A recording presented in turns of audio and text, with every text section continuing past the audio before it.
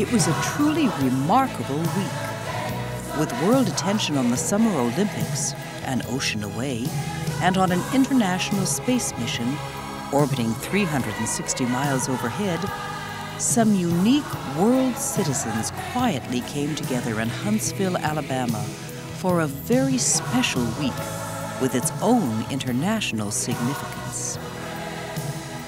It was the third International Space Camp at the United States Space and Rocket Center, a week that united the best of the best, outstanding teachers and their students from around the world.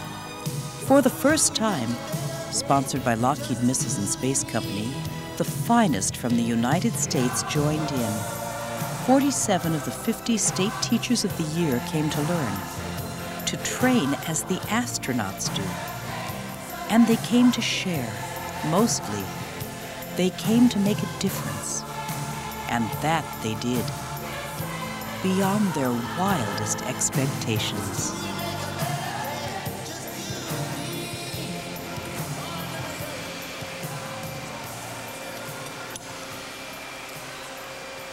The astronaut training prepared the teachers to conduct two shuttle missions at the end of the week. They organized into teams. Each teacher trained for different roles in each mission spacewalks, shuttle repair, science experiments, and much, much more.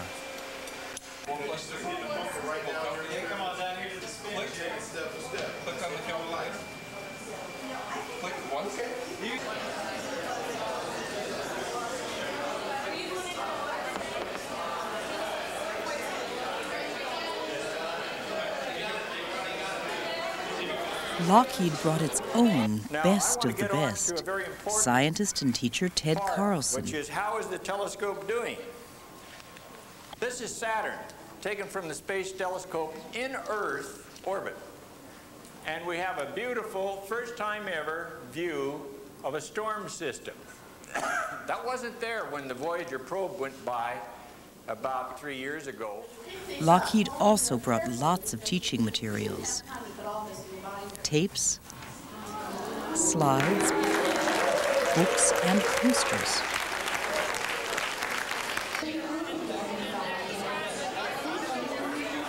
A space and science engineer at Lockheed, Ted has been honored for his inspirational classroom science and technology teaching in California schools. Lockheed provides TED to the schools as part of its ongoing commitment to education. The teachers could not get enough of Ted, and he could not get enough of them. Lunches went cold, training sessions were delayed. The day simply was not long enough. A break from the week's mission training activities featured a trip to NASA's Marshall Space Flight Center with a close-up preview of the International Space Station Freedom. They must reflect physics, and uh, I was hoping they would understand a lot of this. So anyway, we uh, do this, and it takes off and runs like mad. The highlight for the teachers, a teaching laboratory complete with information and materials to take back home. And plenty of classroom tricks and tools sure to interest and excite young minds and imaginations.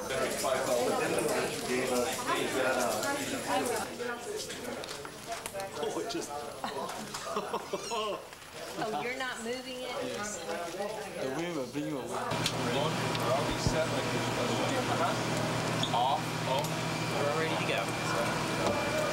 And then the missions, working together to do what they had practiced before.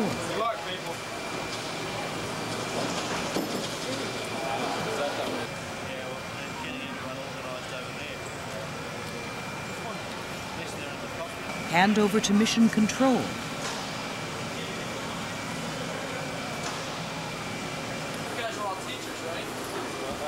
Australia helping Argentina into a spacesuit.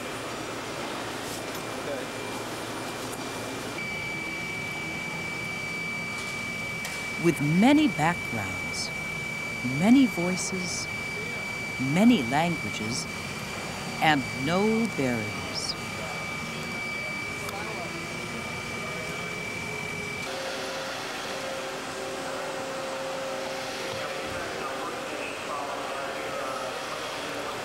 Experiences to take back home, back to school, back to their students. Shuttle, you are, you are negative for return. Roger, negative return.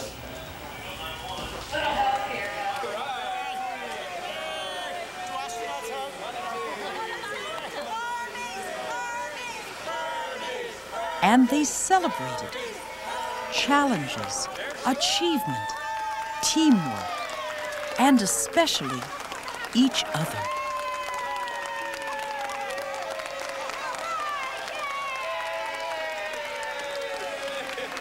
I need to be inflated. The, la- the right, right. Who's got some? Who's got Okay, if some yours, air? is, if yours is deflated, you see it by the coat machine, got the inflator over there, you know to walk down there. Reach. Or you can do it with the pneumatic. Oh.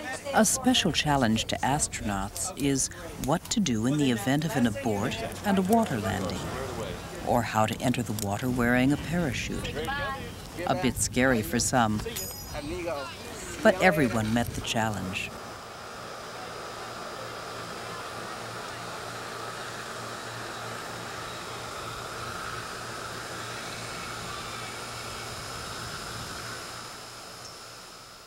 And all during this busy week, these teachers who had come together to make a difference did make a difference.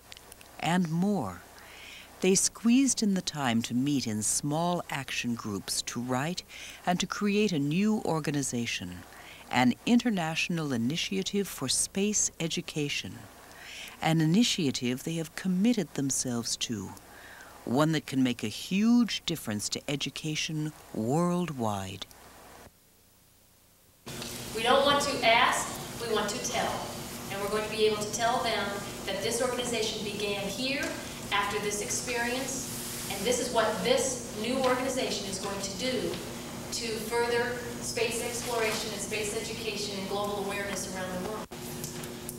state very succinctly what this group can do that no other group in the world can do Exactly. or is doing. Right. So that it makes it right. You, you've got to be able to state that very, very concisely and very clearly. Or in essence, what you're doing, if you can't do that, then all you're doing is creating a splinter education group. And God knows we don't need another one of those. There needs to be something very distinct that nobody out there is doing right now that we can do. A special graduation surprise was a day long appearance by Star Trek's Major Uhura, Nichelle Nichols. Are very lucky to be born in this time and age because you have among you some of the world's greatest heroes, our teachers. Teachers who have foresight and vision of what this future can be for you. I look forward to what you will do. I think we're in very, very, very good hands.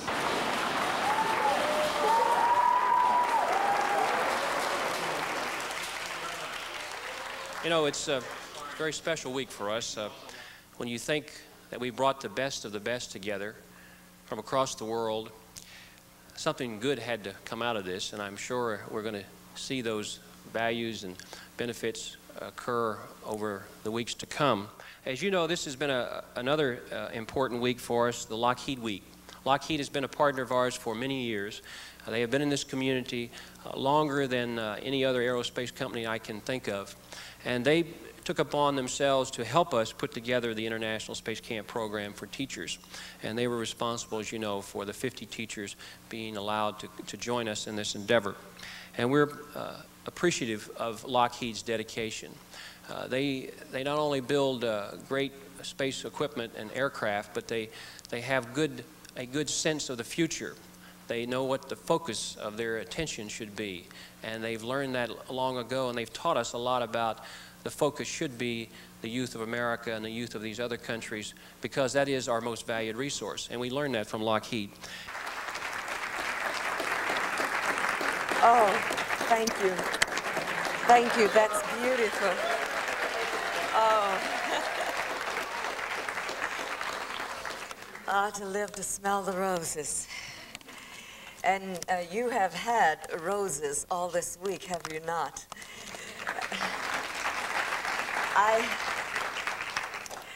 I thank you, Ed. It's, an, it's uh, not only a pleasure, but it's an honor to be here with you and to be asked uh, by you and by Lockheed. I really appreciate the fact that aerospace industry, namely Lockheed, is really putting their money where their mouth is.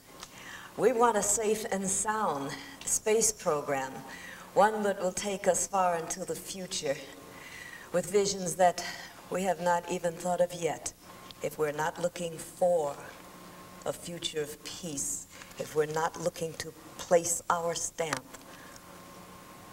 on that future and step among the stars and make the world a better place to live in.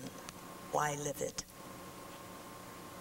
And that future is in our children, and what better to give them than hope and courage and knowledge and dreams. And I just like to know, teachers, how does it feel to be graduating again? I wish you all the best, only the greatest, and hope that you will continue to dream the dreams larger than anything we have ever imagined because it's only through large dreams that small ones materialize.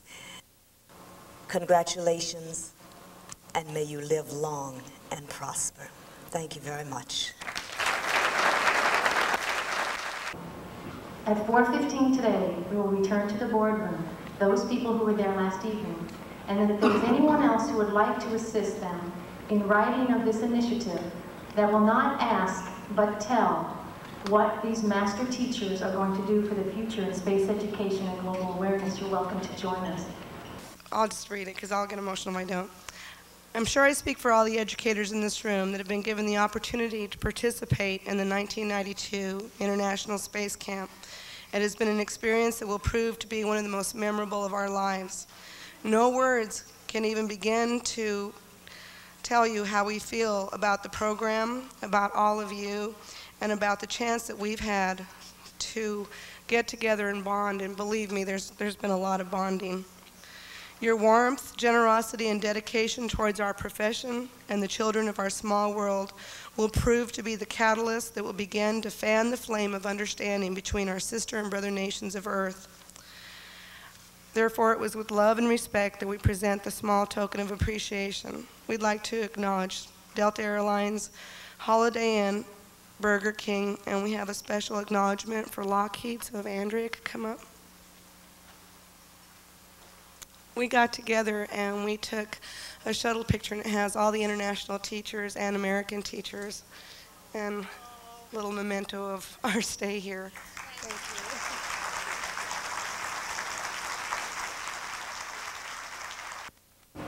Дорогие друзья, я от всей души желаю вам счастья. Soul. Я желаю, чтобы над вашими головами всегда был мир.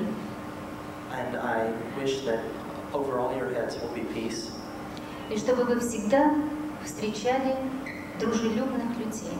And that you may always uh, meet uh, pe people who uh, share this friendship toward Спасибо. Thank you very much. Lockheed is proud and honored to have been part of this remarkable week. We congratulate all the special people who took part and all those who made it possible. We encourage educators to learn more about the International Initiative for Space Education.